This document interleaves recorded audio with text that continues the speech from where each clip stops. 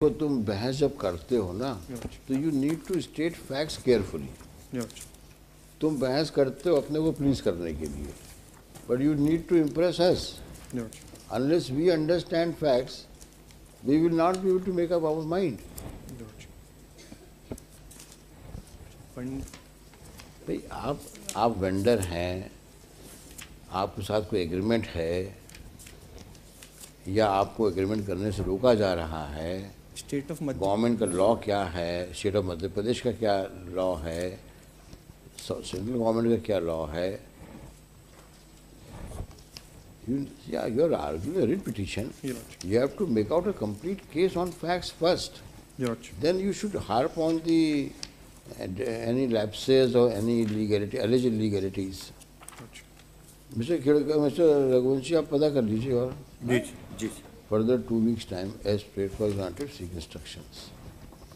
देखिए writ petitions जो होती हैं ना these are the original proceedings you all should know कि writ petitions when you argue there is a way of arguments of writ petition as against the appeals Yeah.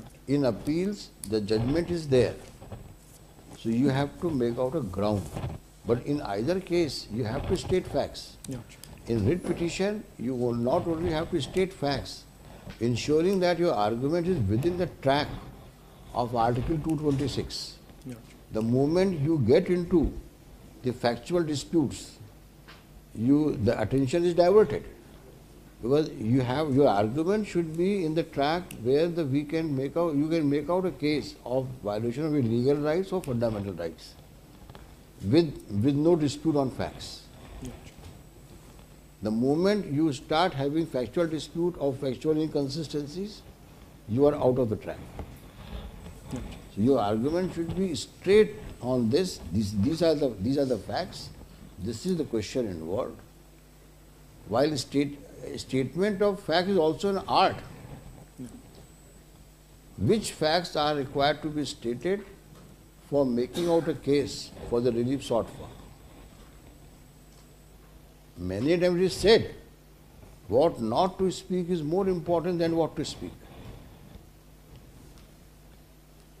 The factual narrations is the opening, opening part of your argument.